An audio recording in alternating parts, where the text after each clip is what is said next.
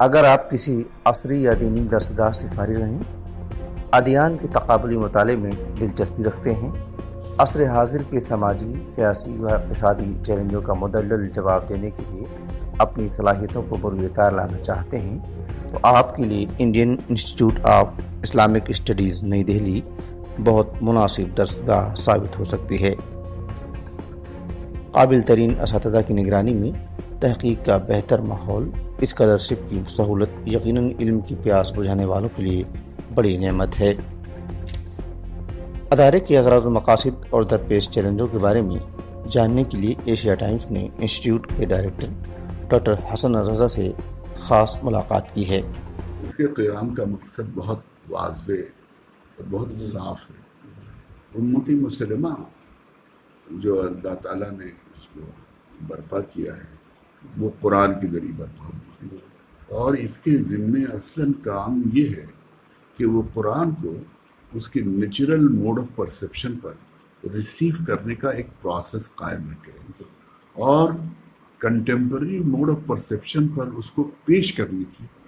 تو گویا اسلام کا نظام جو تعلیم ہے وہ یہ ہے کہ وہ قرآن کو نیچرل موڈ آف پرسیپشن پر ریسیو کرنے کا ایک سسٹم اور اس کو اس دور کے موڈ آف پرسیپشن پر پیش کرنے کی صلاحیت پیدا کرے۔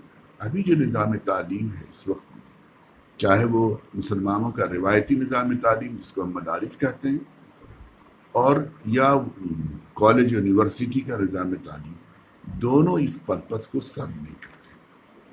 چنانچہ اکیڈمی کو اسی لیے قائم کیا گیا، تاکہ دینی مدارس سے فارغ طلبہ جو ٹیکسٹ پڑھ کے آتے ہیں ان کو صحیح کنٹیکسٹ فراہم کیا جائے تاکہ آج کے عصری سطح ادراک پر وہ قرآن کو پیش کر سکیں اور جو لوگ کالج یونیورسٹی سے آتے ہیں، ان کو عربی زبان اور اسلامک اسٹڈی کی ایسی تعلیم دی جائے کہ وہ قرآن کو اس کی تعلیم کو اس کے اپنے نیچرل موڈ آف پرسیپشن پر ریسیو کرنے کی صلاحیت پیدا کریں۔ یعنی اسی اس حیثیت سے وہ خود بھی اپنا تعلیم و تربیت کریں گے۔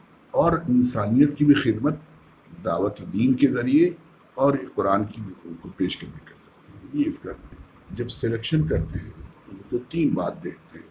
ایک تو ہم ریٹرن ٹیسٹ کے ذریعے یہ دیکھنے کی کوشش کرتے ہیں کہ فی الواقع اگر اس نے عالمیت و فضیلت کی ہے یا ادھر گریجویشن کیا ہے، تو کچھ بیسک اس کی صلاحیت ہوئی ہے کہ نہیں نمبر ون پھر ہم انٹرویو میں یہ دیکھتے ہیں کہ فی الواقع اس کے اندر جذبہ اور شوق ہے کہ نہیں؟ یعنی وہ اپنی، یہ کام کرنے کے لیے اپنے کو تیار پاتا ہے کہ نہیں؟ اس کے اندر سنسیریٹی ڈیووشن ہے کہ نہیں؟ یہ دو چیزیں دیکھتے ہیں۔ تو اس کا سب سے بڑا مسئلہ یہ ہے کہ اس وقت سب سے بڑا جو چیلنج ہے اس گلوبلائزڈ ورلڈ میں وہ کنزیومرزم ہے۔ ہر آدمی ہر چیز پر مارکیٹ کا قبضہ ہے۔ ہر چیز کا ویلیو اس کی اہمیت مارکیٹ سے ڈٹرمن ہوتے ہیں۔ کوئی چیز اٹ سیلف اہم نہیں ہے جب تک کہ وہ مارکیٹ کی میں اس کی کیا قیمت ہے؟ تعلیم کے بھی بہت بڑا چیلنج ہو گیا تو انٹرویو میں ہم یہ دیکھتے ہیں کہ یہ اس آدمی کا ذہن دل دماغ مارکیٹ سے کنٹرول ہو رہا ہے یا واقعی اس کے اندر کوئی اپنا آرج مشن ہے مارکیٹ سے؟ تو یہ گویا دیکھنا بہت ضروری ہے۔ اچھا یہ کورس کتنے طرح کے آپ نے ڈیزائن کیے؟ ابھی بنیادی طور پر دو ہی کورس ہم نے بنیادی طور پر ڈیزائن کیا ہے۔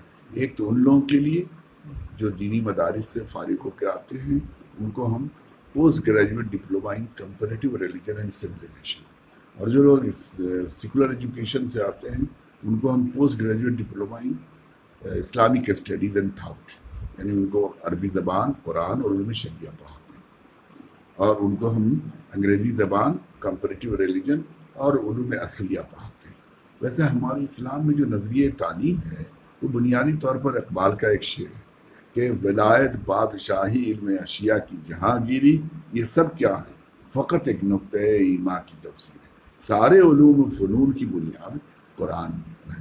قرآن جو ہے وہ علم کا خزانہ ہے اور سب سے بڑی قیمتی چیز ہے۔ اس سے اخذ استفادے کی صلاحیت ان کے اندر پیدا ہوتی ہے۔ تو بنیادی طور پر اسلامک اسٹڈیز کے ذریعے تیار کردہ جو اسٹوڈنٹس ہوں گے، ان کا مقصد کیا طے کیا گیا ہے؟ وہ کن میں کن ضرورتوں کو پورا کرنے کے لیے سوسائٹی کی ملت کی قوم کی ضرورتوں کو پورا کرنے کے لیے وہ آئیں۔ دنیا میں جتنی بھی ابھی جو بیسویں صدی میں بڑے بڑے اہل علم پیدا ہوئے انہوں نے اپنے دور کے علمی چیلنجز کو کا مقابلہ کیا۔ چاہے وہ یعنی سر سید سے لے کر کر کے مولانا آزاد مولانا مودودی علامہ شگری سب کو لے لیجیے بر صغیر میں۔ دیوبند ندوہ سب لے اکیسویں صدی کا جو چیلنج ہے۔ یہ بہت بڑا علمی چیلنج ہوگا۔ اس علمی چیلنج کی تیاری کے لیے افراد یہاں تیار کیے جاتے ہیں تاکہ ان کو تمام علوم کے اندر تحقیق کا جذبہ پیدا ہو اور وہ اپنے آپ کو ریسرچ کے لیے ڈیوٹ کر سکیں۔ آپ نے ریسرچ کی بات کی ہے۔ ریسرچ کے تعلق سے آپ کے پاس جو انفراسٹرکچر ہے، بچوں کو پڑھنے کا انہیں اپنی اسٹڈی کو بہت زیادہ آگے بڑھانے کا کیا آپ کے پاس فی الحال انفراسٹرکچر موجود ہے اور آنے والے دنوں میں آپ کس منصوبے پر کام کر رہے ہیں کہ کون کون سی چیزیں آپ نے اور فراہم کرنے کی کوشش کریں گے تاکہ وہ یہاں بیٹھ کر کے ایک اپنی علمی فکر اپنے اپنی تحقیق کو بہت زیادہ وسیع کر سکیں۔ ریسرچ کی ہم نے یہ بات کی کہ طلبہ کے اندر اس دو سال کے اندر اتنی بنیادی صلاحیت ہم پیدا کر دیتے ہیں۔ اور ریسرچ کا شوق و جذبہ پیدا کر دیتے ہیں۔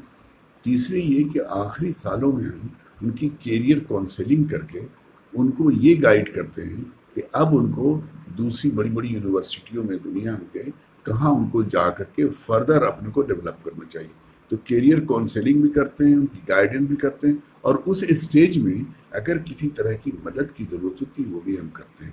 ظاہر ہے ہمارے پاس ابھی جو ہماری تیاری ہے، وہ یہ کہ سماج سے نوجوانوں کو جو گریجویٹ سے عالم کو لیتے ہیں، ان کو بنیادی تعلیمات جو ان کے صلاحیت ہے، اس کو ایک تحقیق کے لیے ان کو تیار کرتے ہیں اور تحقیق کے میدان میں ان کو بھیجنے کے لیے ان کو موٹیویٹ کر کے ان کو گائیڈ کرتے ہیں۔ تو یہ بنیادی طور پر اس ادارے کا مقصد ہے۔